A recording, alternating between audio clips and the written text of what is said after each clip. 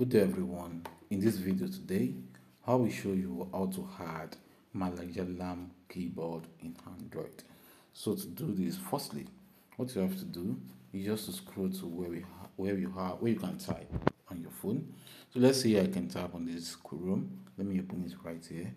Then i click on i click on this option right here. So it will bring out the keyboard option. So the next thing for me to do is just to try to go to the option on my phone. As you can see right here this arrow right here if i click on it to bring out settings. As you see settings which is this one.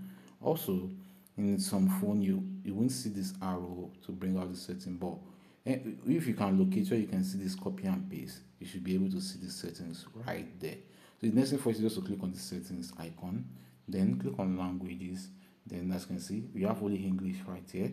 So to add the malayalam language just click on add keyboard then click on search.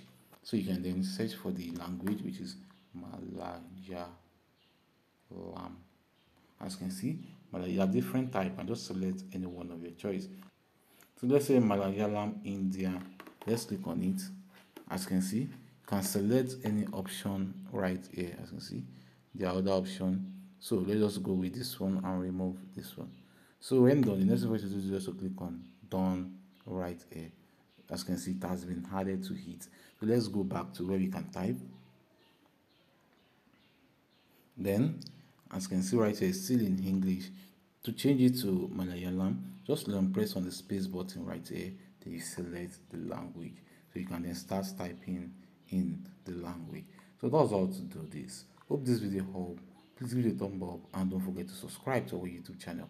See you in the next video